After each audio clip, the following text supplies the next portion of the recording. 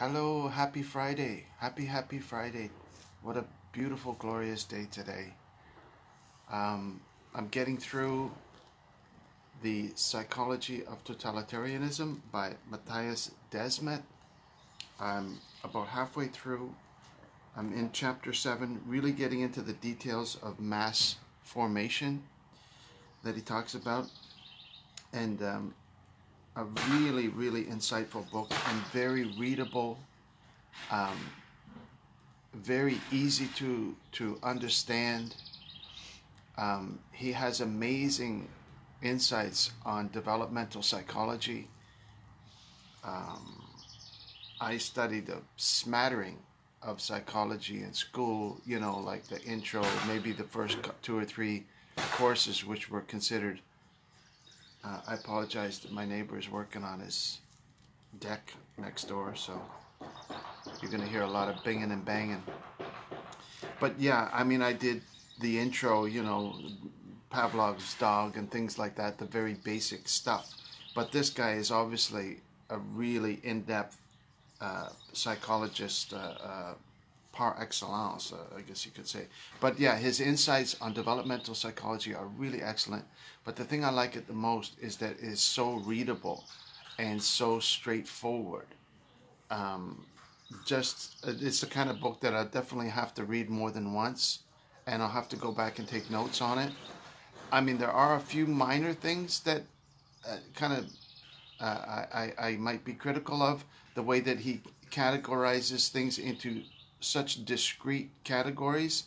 I, I, I don't agree 100% with what he's saying on those things, but any complaints I'd have would be extremely, extremely minor. Um, just a very, a very excellent, excellent read. And um, because obviously he's an ex- excellent psychologist, um, I thought it, it related to a video that I watched, I think it was two days ago, so it's already fading out of my memory but I had a chance to sit and listen to uh, the latest presentation that Jordan Peterson did in Montreal, I believe it was last month, with Jonathan Pageau, and he um, posted that to his YouTube channel. And so I sat through that, and the difference that I found between these two psychologists is that Jordan Peterson, his level of vocabulary is so sophisticated that it makes him unapproachable and almost um, just very, very difficult to follow. And he's basically giving a a uh, a solo speech, so to speak. Uh, Jonathan Pageau, we don't learn anything about him. He contributes almost nothing to the conversation. He's basically just there to keep Jordan Peterson moving along in his uh, self-absorbed um, discussion, if you want to call it a discussion. It's not a discussion. It's just his his own personal presentation. But then again, that's why people pay to go see him. They want to hear him speak, right? So I'll give him that. Um, but I found um, it disturbing because he doesn't allow, and he did the same thing with Richard Dawkins. He doesn't allow the person he's supposedly discussing a topic with to have any input whatsoever. He's only interested in presenting his his own view, which is what I'm doing in, in this video, these videos that I'm doing. I'm only presenting my own view, but I don't bring somebody beside me to have them sit there and say nothing um, because I find that just, um, I don't know. And so I thought um, Jordan Peterson, I was thinking, well, is he, is he's certainly a solipsist to, to one degree or another, depending on how you define that term. But I thought, is he an egoist or an egotist? What's the difference between those two?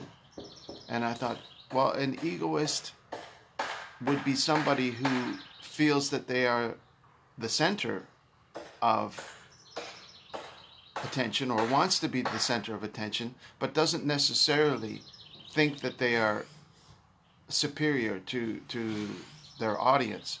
For example, the way that I present these videos that you're watching now, I would come across as an egoist because I'm like the only one here, right? And so I'm making a video and I'm the center of attention whether I like it or not. Um, but an egotist would be someone who allows themselves to be the center of attention but feels that they are superior to their audience. And I think that's what Jordan Peterson is. He, he, he comes across as a feeling, and fair enough, he's, he's got the training, he's, as a, as a psychologist, he knows all the, his, his research. He knows Nietzsche, he knows Jung, right? He, he knows all the, the, the, the people that you're supposed to study to learn about psychology.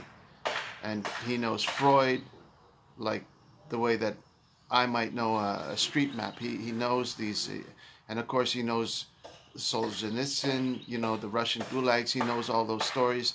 And of course he knows the, the horror and the, and the drama of Dostoevsky and his work, right? These Russian writers that were able to have insights on the, the nature of the darkness of the human soul and the human heart and, and what have you. So Jordan Peterson has a vast knowledge of all the famous psychologists and obviously he uses that to his advantage when he's expressing an idea and he, and he comes up with flashes of brilliance throughout his discussion but you have to sit through two hours of him ruminating and, and presenting complex language and, and going through this bizarre intellectual landscape before you get to the little nuggets of, of truth that he that he's able to, to expound upon. And so it's kind of painful and and, and uh, laborious to get through or to even just to sit and listen to him. Whereas this one here is so much more straightforward as a psychologist speaking about the the, the developmental psyche of, of a child and their mother and, and what have you. And now that I'm getting right into the thick of it about the development of mass formation, the, the, one criticism I may have is that he does talk about the, the, the, the displacement of morality or the collapse of morality, and he doesn't he doesn't he doesn't suggest a replacement. And I believe Jordan Peterson did the same thing in his speech uh, when I listened to him two days ago. He talked about the collapse of morality, and he even mentioned, you know, the resurrection and um, the spiritual things of which he's fond of speaking about. And then he says, well, what do we replace them with? And I think he uses the term we as the royal we, he's speaking about himself. What what does one replace that with? And he doesn't have an answer, just as just as uh, Mattias Desmet. Now, I'm only halfway through, so I don't know if he provides an answer later on. Uh, I'm guessing he probably will suggest an answer, but he says that people have abandoned this Judeo Christian morality and what do they replace it with? And he doesn't provide an answer. And that to me is a is is a, a cop out on behalf of the part of, of Jordan Peterson. He doesn't step up to the plate and says, well, we we should replace it with this, or we should amalgamate the Judeo-Christian ethic into the the fiber of our of our communities, into the fiber of our collective conscious in this way. He doesn't he doesn't provide that unless he's he's he's wanting to provide a replacement as his own insights, which are which are his own complex insights. Um, but anyway, uh, he finishes the speech. Jordan Peterson finishes his speech by, by, by saying, making this statement. He says, You think religious pe- people are crazy? Jesus. He uses the Lord's name in vain at the end of the speech. Now, I'll give him the benefit of the doubt. He was talking about something different. He was talking about how the left wants to elevate women and say we need to have more women representation in politics, in jobs, and what have you, and they elevate this uh, effort to um, increase women representation, let's say, in, in all fields of what have you. And at the same time, they say, well, there's no difference between men and women. And he mentions the Supreme Court nominee who wasn't even able to define what a woman was. And so he says, you can't have both. You can't say, well, we want to elevate women, and at the same time say that there's no difference between a man and a woman. He says this, this violates the law of, of non contradiction, or however he expressed it. And so this is the context of when he makes that statement where he says, "You think religious people are crazy?" Jesus, he he uses the Lord's name uh, uh, as as an exclamation point, and that's the last statement of his lecture. And the funny thing, he says, he says, "Well, that's a funny place to stop, so I think we'll stop there." Now, I don't know if he's referring to funny in the sense, you know, I feel like I feel like Joe Pesci here. You know, how do you mean funny? What do you mean funny? You're talking about funny that the people are using two different definitions of women? Or you think it's funny that you're ending on that note and you use the Lord's name in vain and the crowd nervously laughs and giggles at your statement? Which is a horrible thing to do. And Jordan Peterson should know better than to do that.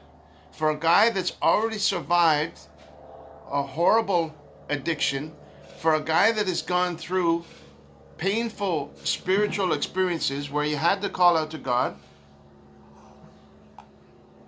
for him to be flippant and right after suggesting what do we need to replace or fill in the void of the resurrection, or I'm thinking about, you know, how drunk he is on symbols as Dawkins accused him of.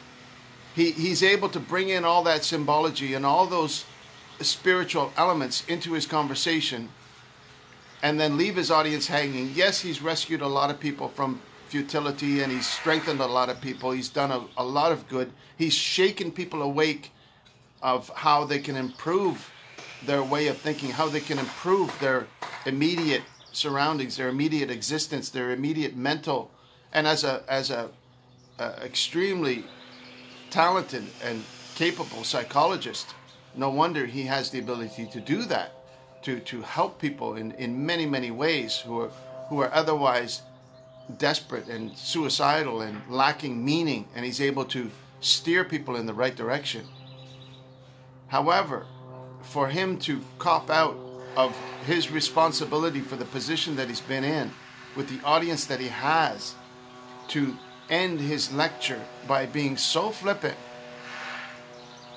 he's treading on very, very thin grounds I'm not going to speak on behalf of who he has to deal with because that's between him and them. But you don't have to be a rocket scientist to figure out that the commandment that says you don't use the Lord's name in vain because the, God won't hold him guiltless, right? He will have to deal with that in his conscience and he's bringing down pain upon himself unnecessarily. And not only that, he is adding to the confusion of his audience who is looking for a different way to embody those symbols, a different way to fulfill those spiritual needs that people have, which can only be found in theism and to a greater extent discovering who Christ is and how that can be implemented into the human psyche, whatever religion the person happens to adhere to. The concept of salvation, the concept of the resurrection. These are concepts that need to be evaluated and implemented cross culturally and cross religious boundaries. And he knows that. He's discovered that. He's danced around it like a ballerina dancing around all these different topics and not willing to sit down and take responsibility for what he knows to be truth. He always, oh, I act as if God exists. That's a cop out. Jordan Peterson is an egotistical cop out. He needs to take responsibility for what he knows to be true and say it as it deserves to be said, not flippantly to end his speech by, by saying, oh, Jesus, you know. That's a wicked thing to do. He shouldn't do that. And he knows better than to do that. And that's up to him. If he wants to straighten himself out and put his pants on and say, people need Christ.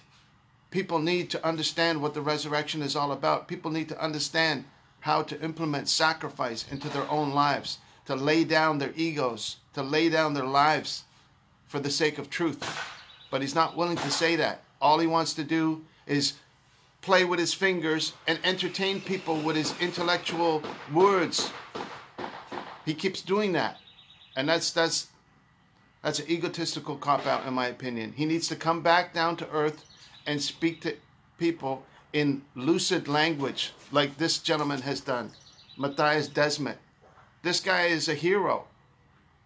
And this guy is a superior psychologist than Jordan Peterson is. So Jordan should be listening to this guy and quoting this guy as a psychologist. This is what people need to hear. People, if more people read this book, they would be healed. They would awaken from their stupor that has captured the minds of the bulk of Canadians. They've been captured into a mass formation, as he describes so eloquently in his book, The Psychology of Totalitarianism. And of all people who are expert in the in the in the psychology of totalitarianism, Jordan Peterson would be very very high on that list. So he has a responsibility that I think he's shucking. He is skirting around the issues and he's skirting around the deepest truth known to humanity that has been evident for the past 2,000 years since we've perfected the ability of language, since the essentially the Rosetta Stone of human civilization. No wonder it was written on the cross in three languages, right? Jesus Christ, King of the Jews, in Aramaic, in Hebrew, in Latin. I don't know what it was three languages were, but it was it was at the at the fullness of time when that message could be delivered to all of humanity, not before, not after, at the exact right time. Christ came and died for the sins of the world. And that's what people need to recognize that that was possible and only possible through the divine dispensation of our Heavenly Father that allowed that to happen. You have to decide on your own what you do with Christ, whether you put him in the position as a prophet, whether you put him in, for the Muslims, they put him in the position as a prophet. For the Christians, they put him in the position as divine, as, as God himself.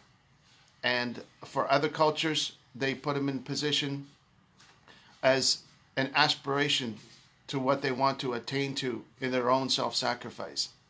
So, depending on the culture and the situation of the person, the solution is the same looking to Christ to understand the Father, the God, the creator of all heaven and earth, to whom alone we are responsible.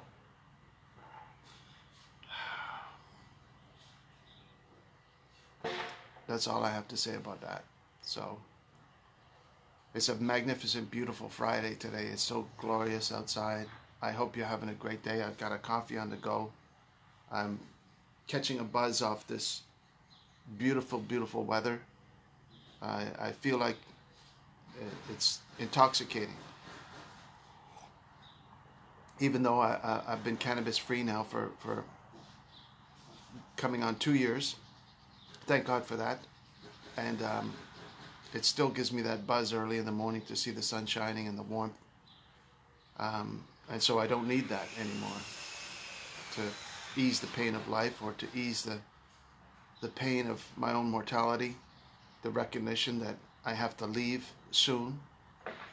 That can be very painful, but um, but now that pain has drifted away because I've been so blessed and so um, I don't know how to describe it. It's it's kind of like I don't want to say use the term it's finished because I I, I would never compare my life to, to, to the one who said that and who suffered so much. I, I, I've, I've suffered nothing in comparison, uh, but all my suffering has been mental and, and internal in uh, my mind and my heart. That's what uh, damaged my heart. Anyway, um, I hope you're having a fantastic Friday so far. I'm going to enjoy the rest of this day uh, tidying up. Uh, it's garbage day today. Every time the garbage truck goes by, it feels like Santa Claus came. It feels like Christmas. It's like, wow, what a great use of tax dollars. They, they, they put the garbage out at the street and somebody actually comes and picks it up and takes it away.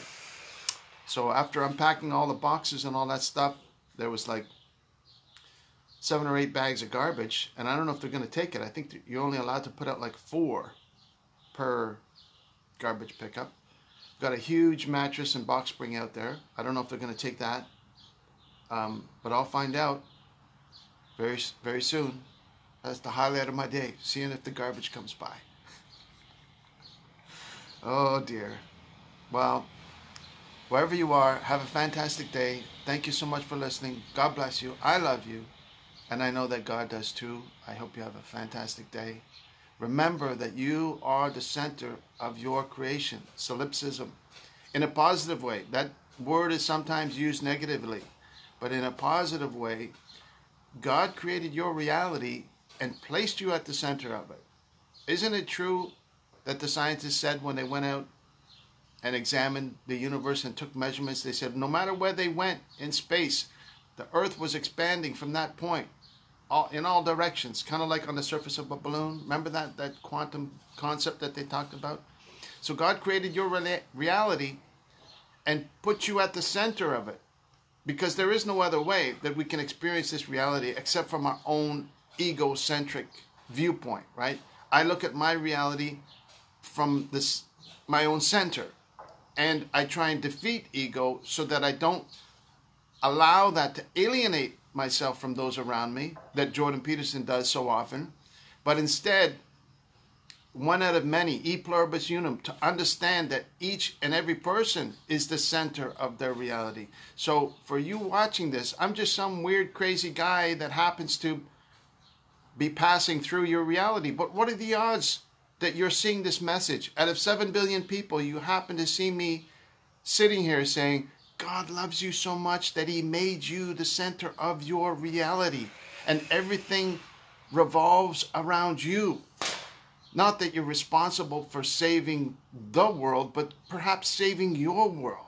That you are the center of your world. And how you relate to that world ripples through the entire universe. So we look to our leaders and say, well, our leaders are corrupt. How do we solve that?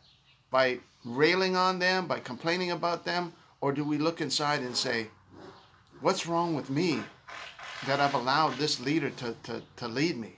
I need to repent and say, God, heal me first. Heal me first so that I can pray for my leaders. Open my eyes so that I can pray that my leaders' eyes are open.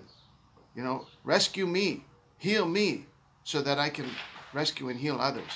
Well, God loves you so much that He made you the center of your reality. If you happen to be watching this video, I am absolutely 100% convinced that God is all powerful and he puts you in the center of your reality for a purpose. No matter what your faith, no matter what your religious beliefs, doesn't matter. You can adopt any faith that you want. Some people it's a form of spirituality. Some people it's Buddhism. Some people it's this. Some people it's that. Doesn't really matter.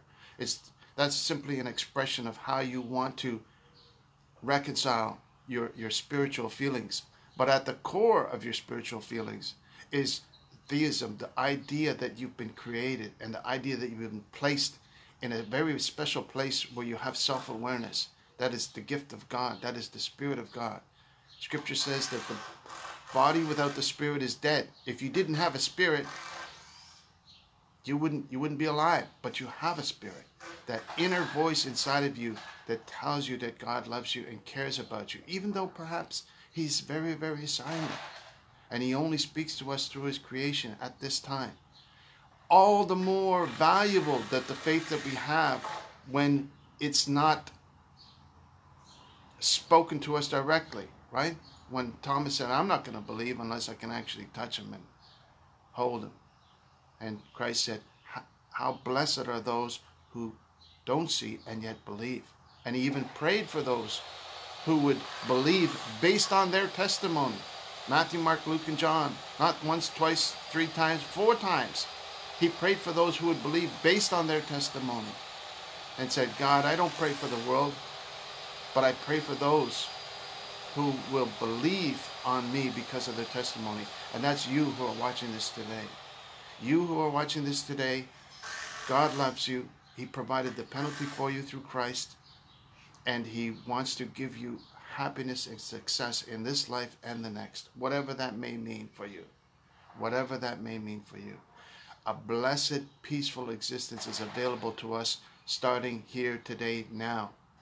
Christ said the kingdom of God has come. Now it starts. We don't have to wait till we get to heaven. We can start experiencing heaven here now. We don't have to go through torture and humiliation on a cross because he already did it for us. If there was value in suffering, he wouldn't have to do that. He doesn't say, oh, follow me, and then you'll have to go through your own cross. All right, all right. He said, take up your cross and follow me. But he also said, take my yoke upon you because my burden is light. It's easy. It's a blessed life to put God first. It's a blessed life. It's easy path. I know, I know, yeah, it's a narrow path and this, this. But take the whole thing in concept and absorb it into your hearts and mind. Feed on the words of Christ. And he will let you know the easy path. He'll say, This is the way. Go this way. Remember the scripture that says, you know, listen for that direction, that intuitive direction, said, This is the way I want you to go. Follow this path, and it leads to life every single time. It protects us from ourselves, from our own foolish mistakes, and God is faithful. He will guide you in the right path. He will rescue you and give you a blessed, happy life. I, I sincerely believe that. I mean, look at me. I'm living large here. I'm having a coffee on a Friday. I'm living in a paradise. What more could I ask for? Glory to God. I thank Him every day for His mercy, and I pray He blesses you. Thank you so much for watching. Have a fantastic Friday. Have a fantastic weekend. Maybe I'll see you next week and make some more videos or do something crazy. we'll see what happens. God bless you. I love you. Have a wonderful day. Enjoy your weekend. Enjoy the sunshine. Get out, get some fresh air today. Make sure you do. We'll talk to you soon. Bye bye now. Take care. I love you. Bye bye.